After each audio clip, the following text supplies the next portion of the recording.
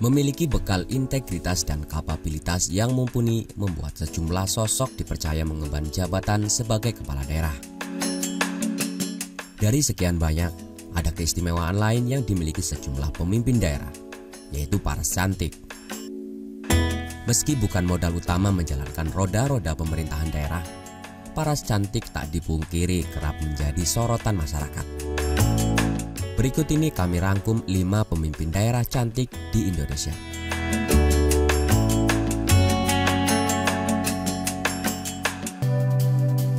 Tak hanya pintar dan mampu berkomunikasi dengan baik, Airin Rahmadiani juga dapat menjaga penampilannya.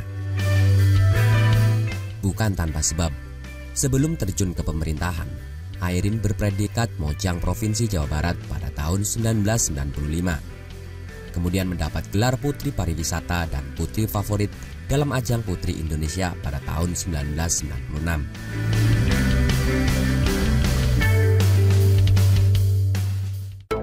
Di pemerintahan daerah, namanya dikenal ketika menjabat wali kota perempuan pertama Tangerang Selatan dua periode, yaitu pada tahun 2019 sampai 2016 dan 2016 sampai 2021.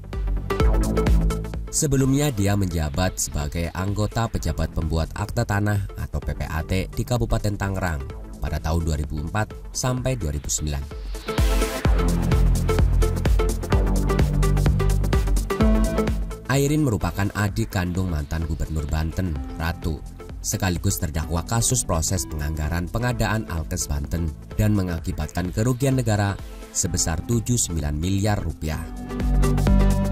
Sementara suaminya Tubagus Hairi Wardana alias Wawan terdakwa kasus suap hakim Mahkamah Konstitusi.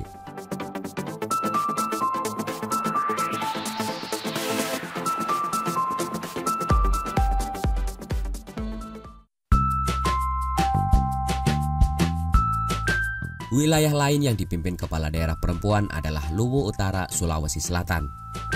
Adalah Indah Putri Indriani yang menjabat sebagai bupati di wilayah itu untuk periode 2016 sampai 2021. Sebelumnya dia berpredikat wakil Bupati Luwu Utara periode 2010-2015. Wanita cantik kelahiran Enrekang, Sulawesi Selatan ini sempat tercatat sebagai akademisi sebelum melangkah ke pemerintahan. Di antaranya adalah dosen Fakultas Ilmu Sosial dan Ilmu Politik Universitas Indonesia, dosen FISIP Universitas Bung Karno, dan dosen FISIP Universitas Muhammadiyah Jakarta.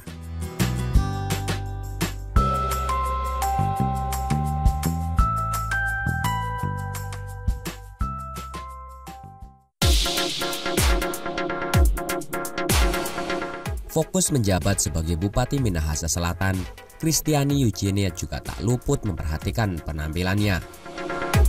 Dalam kesehariannya, perempuan kelahiran Manado pada 25 September 67 ini kerap tampil fresh dan cantik.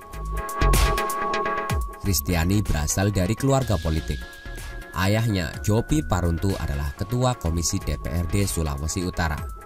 Sementara sang ibu juga seorang politisi yang menjabat ketua DPD Partai Golkar Minahasa Selatan dan anggota DPRD tingkat 2.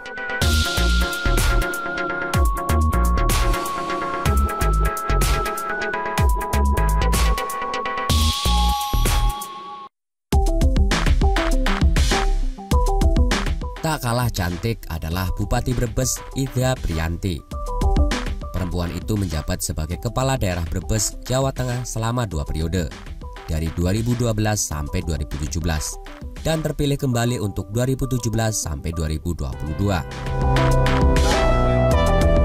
Perempuan berusia 48 tahun ini sebelumnya menjabat sebagai wakil Bupati Brebes dari 2011 sampai 2012.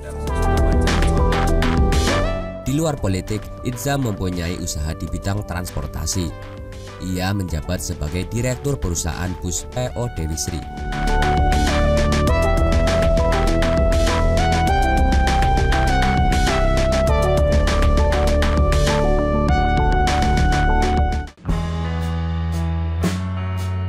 Tampil penuh percaya diri dan fashionable merupakan ciri khas Rita Widyasari.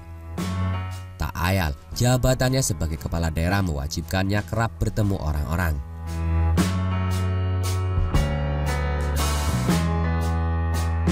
Rita menjabat sebagai Bupati Kutai Kartanegara selama dua periode, dari 2010 sampai 2015. Kemudian menjabat kembali untuk periode 2016-2021.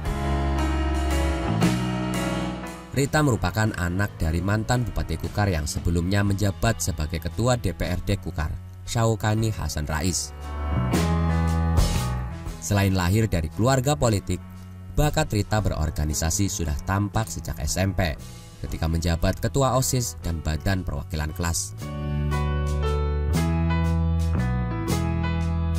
Namun, kini Rita menjadi terdakwa kasus korupsi setelah terbukti menerima gratifikasi sebesar 110,7 miliar rupiah dan suap 6 miliar rupiah dari pemilik PT Golden Sawit Prima, Heri Susanto Gun alias Abun Rita difonis 10 tahun penjara oleh Majelis Hakim Pengadilan Tindak Pidana Korupsi Jakarta.